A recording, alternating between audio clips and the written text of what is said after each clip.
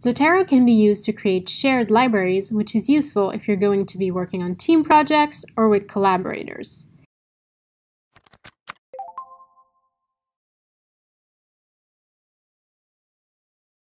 To create a group, you must first create a Zotero account and log into it. Click on Login in the top right-hand corner to access your account.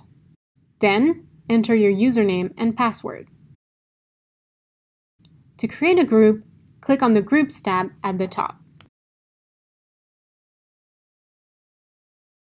First, you must pick a name for your group and enter it in the box shown on this page.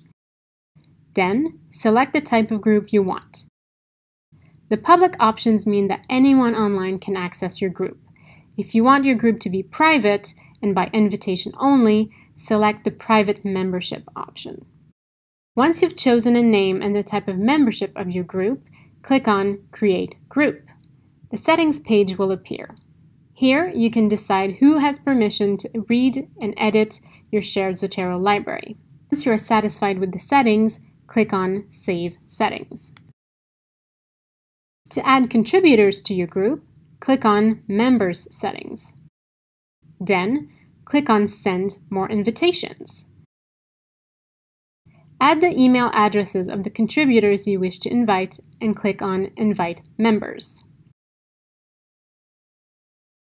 If you go back to your Zotero program and click on Refresh, you will now see your new group. Your shared folder will function exactly like your other folders.